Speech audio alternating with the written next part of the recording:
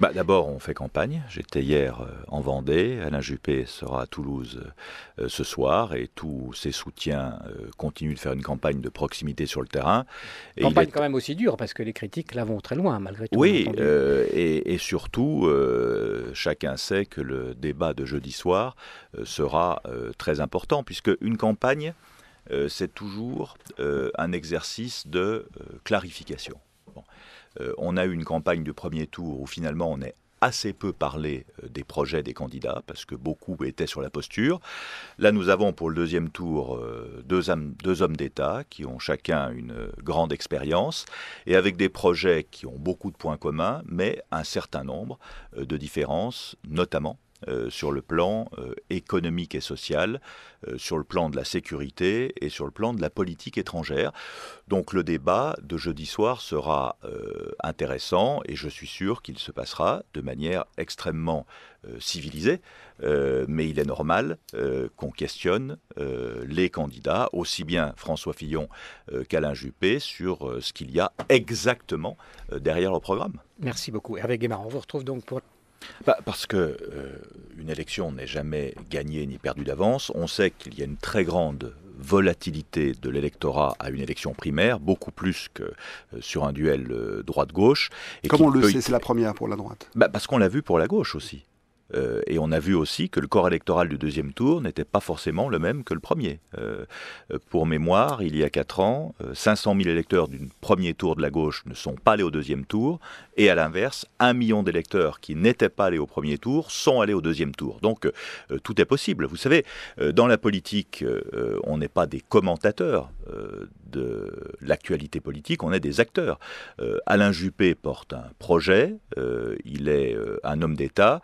Je pense vraiment euh, que c'est lui dont nous avons besoin d'abord pour gagner l'élection présidentielle, compte tenu de tout ce qui a été dit euh, Pourquoi tout à François Fillon serait un moins bon candidat je pense, qu'Alain Juppé, je pense qu'Alain Juppé est un meilleur candidat euh, contre la gauche, et y compris euh, contre le Front National. Et on a complètement oublié, avec la focalisation sur les primaires, l'élection présidentielle de l'année prochaine, suivie des élections législatives. Et ni l'une ni les autres ne sont jouées.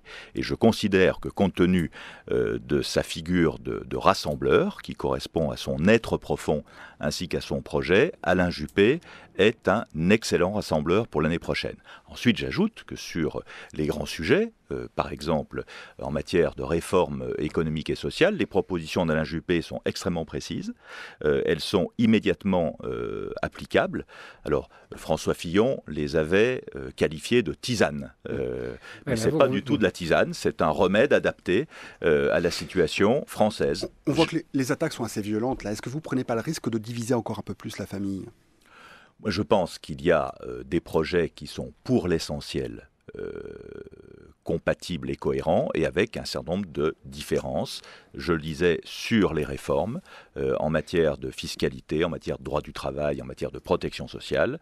Sur la question centrale euh, de la sécurité, Alain Juppé a des propositions euh, extrêmement précises, de même que sur la laïcité et l'application des lois de la République à toutes les religions, y compris l'islam. Et enfin en matière de politique étrangère, puisqu'on en parlait, puisqu'il a une posture gaulienne d'indépendance nationale, euh, équidistant euh, par rapport à l'Amérique de Trump, euh, la Russie de Poutine, l'Iran, l'Irak, l'Arabie saoudite. On sait qu'avec Alain Juppé, il n'y a pas d'allégeance. Hmm. Alors justement, ben, Poutine se félicitait ce matin de ses bonnes relations avec François Fillon.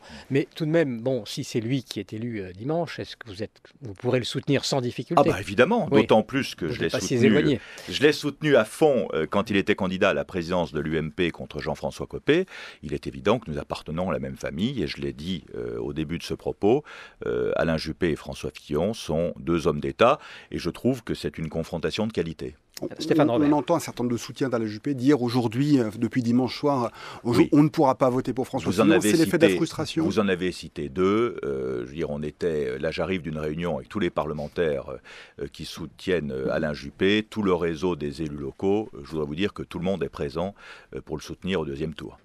Qu'est-ce que cette primaire de la droite, vous en, vous en tirez le, gros succès qu'elle a, qu'elle a rencontré, 4 millions, c'est quand même beaucoup, c'est plus d'un million cinq euh, par rapport au social. Euh, bah, c'est la confirmation que les partis politiques euh, sont squelettiques et nécrosés. Et celui qui vous dit ça appartient à un parti politique, il n'a pas honte de lui appartenir. Mais aujourd'hui, les partis ne représentent plus la vitalité et la diversité de la société française. Ça, veut dire quoi par rapport aux républicains, ce que vous dites? Est-ce bah, qu'il va y avoir une mutation du parti Pas par rapport aux républicains. C'est-à-dire que moi, j'aimerais que, comme pour les syndicats d'ailleurs, que ces organisations qui participent de la vie démocratique soient beaucoup plus peuplées euh, qu'elles ne le sont actuellement. le, le compte est facile à faire J'imagine qu'à la fin des années 70, il devait y avoir près de 2 millions de Français membres d'un parti politique. Aujourd'hui, s'il y en a 3 ou 400 000 tout mouillés, c'est bien le maximum. Et alors, comment bien la pour, Une dernière question faire évoluer ça? Eh ben, Les partis doivent être beaucoup plus attractifs, ils doivent renouveler leur contact euh, avec euh, les, citoyens et surtout euh, avoir des propositions alternatives de croire et d'espérer. Aujourd'hui, on en est loin.